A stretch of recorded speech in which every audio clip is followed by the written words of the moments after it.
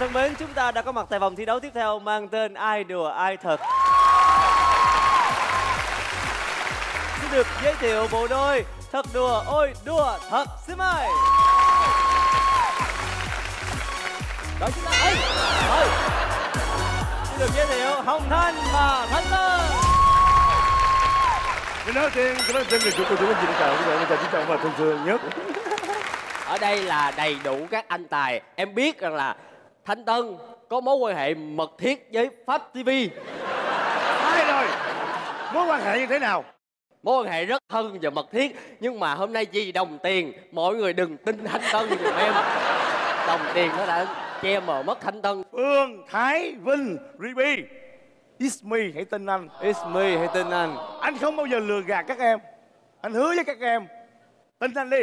mặt của mày Bây giờ chốt cái chia cách xê đi Anh nói gì em cũng tin hết á Mình làm việc vì đam mê em. Đừng đem tiền bạc ra ở đây. Đúng rồi, rất đam mê. Thanh Tân là một nhân vật đã từng tham gia vào chương trình đùa như thật rồi. Nhưng vì đồng tiền, Thanh Tân đã đá người bạn của Hồng Thanh ra để chiếm lĩnh cái ngôi gì đó. Đã đi hết. Và ngày hôm nay anh tồn tại vị trí này. quay không quay không lấy tiền bao cơm nguyên đồng phim lỗ tai, hấp dẫn gì đâu. Bằng mọi cách để đứng vị trí này. Tại vì sao ngày hôm nay có các em của anh. Đây. Nên tin anh. Không thể tin được Ai chề mà dám đá cả ông sói à Ừ. Thôi thì bây giờ chúng ta đến với ba tình huống ngày hôm nay. Câu hỏi của chúng ta như sau. Loài kiến sẽ làm gì với con kiến bị chết? Chôn nó hay mặc kệ? Câu hỏi của chúng ta là như thế. thanh tân anh nghĩ gì Theo anh nghĩ là như các em cũng đã biết, loài kiến là một loài sống tập thể với nhau.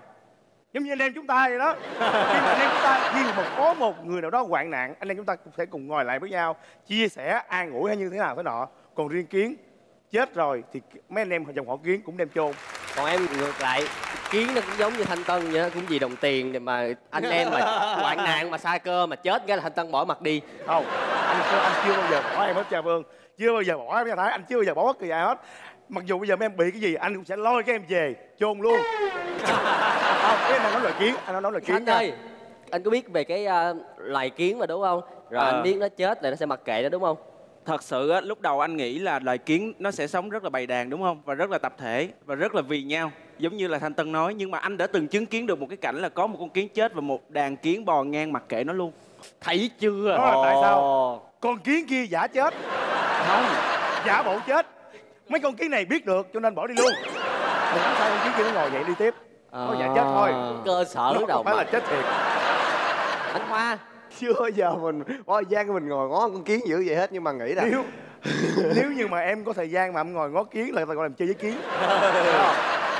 nhưng mà em nghĩ là con kiến mình nó quan sát với nhau bằng cái tín hiệu hai cái cái cái cái cái, cái anten thì nếu mà con em nghĩ là Cái con nó chết thì hả em? Ờ, Ừ. em không biết nói nó là gì cái Dạ, râu cái đó. em ơi. Ờ. Ừ, cái râu nha em, em. tưởng tượng là anten thì nó sẽ có một cái sóng nhưng mà nếu mà cái con nó chết đi nó mất sóng thì chắc là mấy con kia bơ đi luôn Đó, thấy chưa mặc kệ Ừ. Loài con kiến đó là con kiến ờ, ờ, chung loại đại hay là con kiến bình thường Con kiến bình thường. kiến mình đang bò bình thường đó tại vì em ờ, ngày xưa là em ở hai phân thiết nên là em thấy ờ, con chuột con bò con kiến nói chung là con nào cũng thấy hết. Mà em thấy con kiến á thì uh, con kiến mà gọi là để trứng á thì nó chết. Hay là cái gì đó thì có con kiến nhỏ nhỏ nhỏ nhỏ bu xong rồi nó mang về nhà. Còn nhưng mà con kiến bình thường á là có loại con kiến thì thấy con kiến chết nó ăn. Ăn con con kiến chết. Còn có con kiến thì uh, đem về có con kiến thì không. Em không biết ừ. bây giờ mời hai cô gái xinh đẹp lên tiếng đi nào Đúng. Ruby ngon quá Ờ, em cũng xem có lần em cũng thấy là ừ, có một con kiến chết thì mấy con kiến kia bu lại xong rồi khiêng lên á cái đó, Đó. cũng tha à, đi khiêng lên nữa hả à, tha đi nhưng mà không biết tha đi đâu không biết là mang em về ăn đó hay đi là mấy.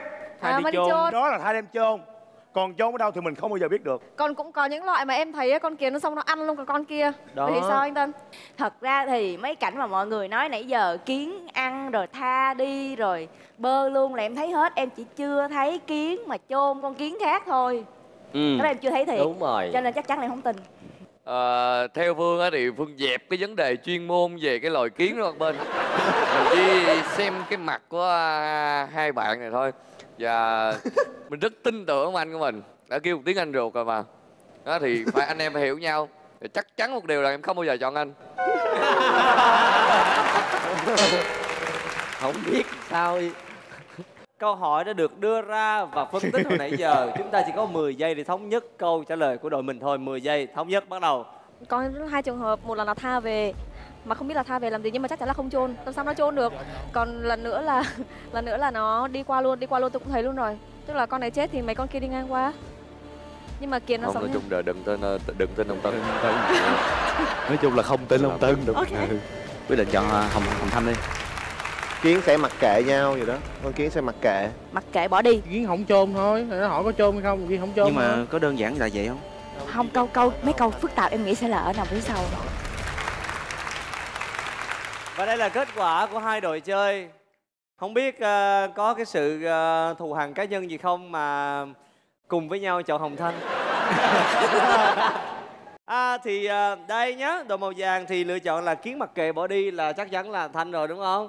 Đúng Đó. rồi. Rồi còn đội màu xanh lá cây thì ghi đơn giản ngắn gọn xúc tích một chữ Thanh thôi Nhấn nhẹ, dễ sơ nhẹ luôn số Để- đầu tiên mình xuất hiện ở vị trí này. Và không ai tin mình cả. Và chắc cũng là số cuối cùng. Và bây giờ Ok. sẽ là kết quả. Xin mời chương trình cho em một nát nhạc gây cấn hồi hộp thở không nổi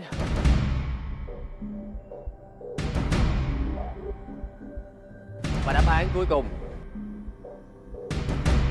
Kiến. Sẽ chôn con kiến đã chết. Wow.